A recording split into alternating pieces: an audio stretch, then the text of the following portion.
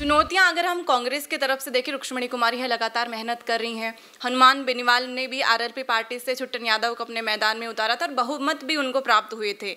हनुमान की शक्ति भी नहीं चली, रामलाल शर्मा के आगे। इस बार चुनौतियाँ किस प्रकार से देखेंगे? क्योंकि ज़मीनी नेता आप कहे जाते हैं।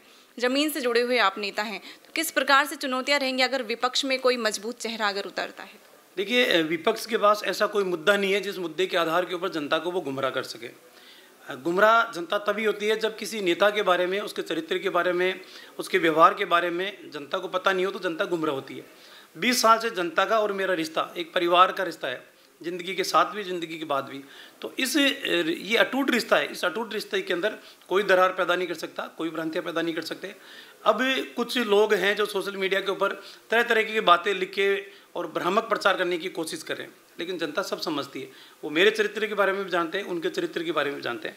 लेकिन मैं इतना ज़रूर कह दूँ कि हमने हमारे कार्यकर्ताओं का है, चुनाव कुछ दिनों का है। हम सादगी के साथ लड़ेंगे, व्यवहार के साथ लड़ेंगे, मर्यादा के साथ लड़ेंगे। और अगर कोई गलत करने की कोशिश करेगा तो उसको छोड़ेंगे भी नहीं। जिस तरीके से पिछले चुनावों के अंदर गुंडागिर्दी के ऊपर उतार हुए, गाड़ियों को रोकना, तोड़फोड़ करना, पुलिस की बन के चेकिंग करना तो गुंडागिर्दी तो हम कतई बर्दाश्त नहीं करेंगे। और मैं इतना ज़रूर कहूँगा कि कोई चुनौती हमारे सामने नहीं है। चुनौती सिर्फ़ एक ही है कि हम जनता जिस अपेक्षा और उम्मीद के ऊपर हमें मतदान करेगी, उनकी भावनाओं को हम कितनी जल्दी पूरा कर पाएँ, ये हमारे सामने चुनौती है। तो मैं पूर्ण विश्वास के साथ कह सकता हूँ कि मेरे पास और कोई काम नहीं है, सिर्फ़ और सिर्फ़ ये जन समस्याओं के समाधान के अलावा।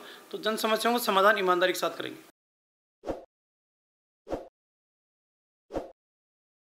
ताज़ा खबरों के लिए विज़िट करें द फैक्ट इंडिया की वेबसाइट और डाउनलोड करें द फैक्ट इंडिया ऐप।